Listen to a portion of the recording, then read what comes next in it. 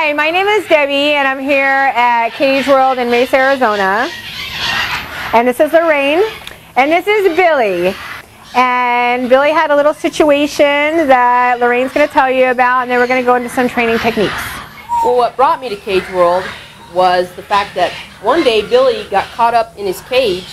He tore up his wing, bleeding everywhere, and we could not handle him to get him out of the cage in order to bring him here. So what I'm going to do is I'm going to groom him up real fast.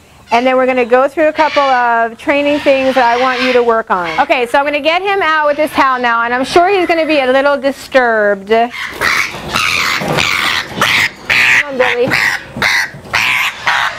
Yeah, he's not like. Okay, so first, I'm going to just trim this beak up a little bit. Yep. I just. So now that we've got Billy Grooms, um, the easiest thing to do is just to start him out like on a perch. And what we'll do is that we're just going to let him sit here on this perch for a second, let him cool off a little bit. They fight quite a bit when they're in that towel. Um, so he's breathing a little heavy. But I'm just get his bearings first. Okay. So as, my left hand goes in, and even if you have to distract him with this right hand, I'm just going to kind of come in like this. See, I know he's going to bite. But a lot of times that bite is not what you're thinking it's going to be. Okay? Um, He's not going to rip my finger off. well, maybe. but you don't know that. So you kind of just got to like take the hit. Okay. So your left hands, your right hand is a distraction if you need to. And just kind of go in slowly with his toe. Keep going. Just keep going. Just keep going. You with your hand. Keep going. Keep going. Perfect, perfect, perfect, perfect. Okay. Now, you just want it for a second, and then you want to put him back on the perch. So if you kind of come around, good, put him back up on that. Nice. Okay. So actually, I want you to just go ahead and do that one more time, and then we're going to go to the cage. All right. Good. Perfect. Okay, now just come around and put him back on that perch. So I'm going to put him in here.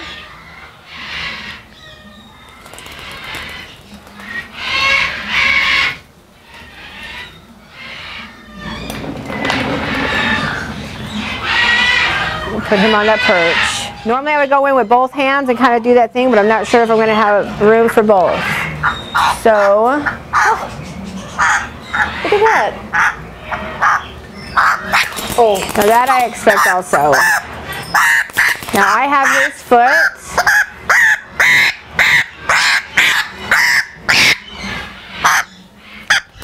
And they don't like that. But I can't afford him running all over that cage. So I'm kind of like showing him now, once I have you, I've got you. A lot of problems a lot of people get into is they get a bird and they go to get him out of the cage and they don't want to come out of the cage and they go, okay, I'm just going to leave the door open for you and you can just come out whenever you want. No, because you grab this foot and I'm actually going to pull him out.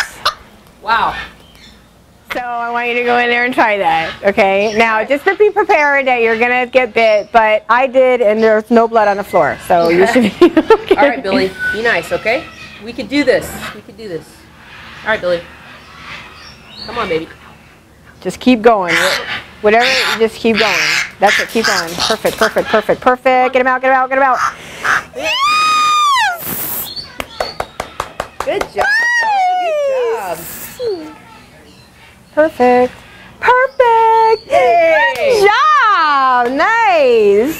We're gonna try it one more time. Oh my God. We can We're pushing our luck. Like No. you do it. All right, Billy. Now, when you go in there, like Yeah. you know how like you're lingering your finger, don't even just like your whole intent Okay. is just to go in there and not stop. Okay. Okay? All right, Billy. Come on, baby. There you go. Shut up. Nice. Very good. Good. Nice. Done.